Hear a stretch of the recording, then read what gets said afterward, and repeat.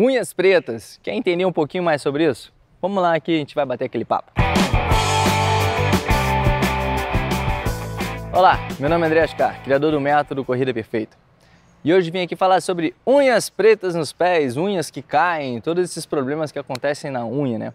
Vamos tentar aqui entender um pouco mais por que, que acontece esse troço, né? Muitas vezes na corrida tal, e outros lugares, porque quando você outro dia não acontece isso, né? Só quando você corre, principalmente grandes volumes. Vamos entender um pouco esse processo. Bom, a unha preta, ela vai ficar preta por conta do acúmulo de sangue, por conta de uma pressão a mais que você faz no seu dedo.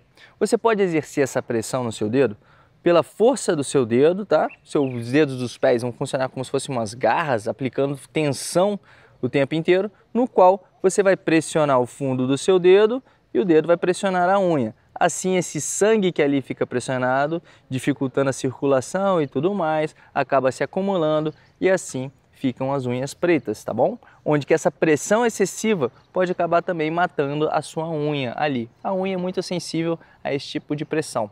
Outro ponto interessante, se a pressão não é por conta dos dedos aplicando embaixo, a pressão pode ser na ponta dos pés por conta de um tênis que está muito justo, tanto por cima dele está muito apertado e você vai correndo e a pontinha do seu dedo vai pressionando lá na frente o tempo inteiro e fica essa pressão novamente na ponta dos dedos ocorrendo.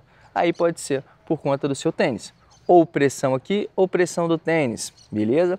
Esse é o grande ponto que vai gerar esse desgaste, não um desgaste, mas essa lesão na sua unha que vai deixar ela preta, que pode fazer ela cair, é para um aumento na pressão. A dica que eu dou é, utiliza o tênis do, do tamanho certo, tá? Muitos vendedores de tênis falam para você utilizar, para evitar essa questão do contato na frente do pé, para você utilizar um número maior. Eu já não indico essa questão do tênis maior. Eu acho que é o tênis certo e pronto. O que eu indico é, sinta o seu pé, Veja como é que está os seus dedos. Você está pressionando muito os dedos no chão. Tente levemente deixar sempre os seus dedos erguidos. Quer saber uma maneira legal de você entender como é que o seu pé tem que funcionar? Corre um pouquinho descalço. Você vai perceber como que seu dedo não vai trabalhar em garra. Ele vai sempre trabalhar os seus pés espalmados. O seu pé vai estar sempre para cima. É só você lembrar que você tem que correr calçado como você corre descalço. E assim você vai erguer os seus dedos, vai tirar essa pressão da ponta dos seus dedos facilitando assim a sua corrida e principalmente dificultando o aparecimento das suas unhas pretas. Beleza? Gostou do conteúdo? Curte aí, compartilha, se inscreve no canal e vamos que vamos rumo à corrida perfeita. Um grande abraço e bons treinos!